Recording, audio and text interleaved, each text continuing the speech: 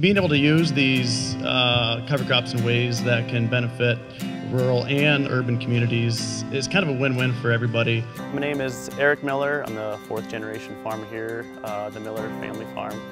Doing a lot of conservation practices um, with cash crops, being able to use cover crops to kind of manipulate how I can improve my bottom line.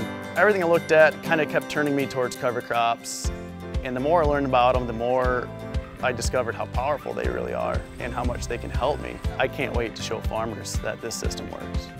I actually went to school for business and marketing. I really wanted to get into marketing. Um, I didn't, I wasn't even FFA. I had no interest in farming.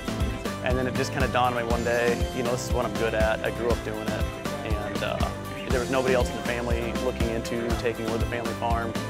And I felt like for me to step up and do it myself.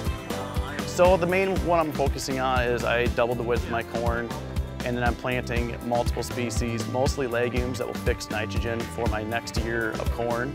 So I can move my corn rows back and forth, no-till, and then I'm also keeping a living root in that ground all year round. And I think that's, that's a huge, huge advantage.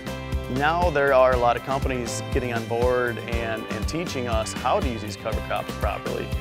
And, and the power of the internet it's been great to, you know, that's where I learned most of my information is YouTube videos and learning how to use this stuff on my own farm. Being able to do corn on corn no-till, especially in our hills that we have, you know, that's gonna help Dubuque County with, with water quality. And it's gonna help that farmer, they're able to get corn on corn, but also turn those cows out in that cover crop and graze it and get a lot of grazing days uh, instead of having to feed those cows in the fall. So that's going to be a huge advantage if you have cows.